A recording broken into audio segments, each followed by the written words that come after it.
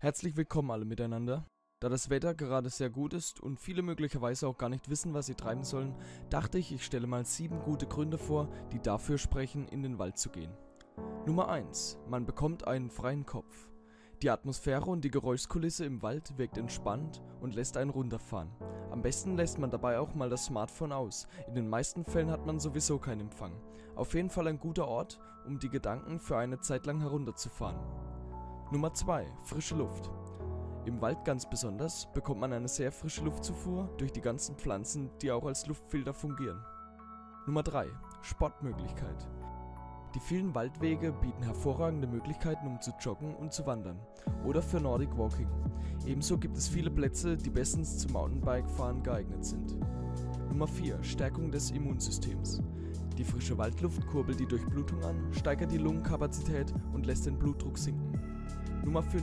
Naturerleben. Wälder bieten eine artenreiche Flora und Fauna. Für Naturliebhaber ist das immer ein schönes Erlebnis. Außerdem kann man, wenn man sich ruhig verhält und Glück hat, auch scheuen Wildtieren begegnen, die man normalerweise nicht zu Gesicht bekommen würde. Nummer 6. Vitamin D. Durch das Spazieren durch den Wald in sonnigen Tagen kannst du in kürzester Zeit deinen täglichen Bedarf an Vitamin D decken. Nummer 7. Inspirationsquelle.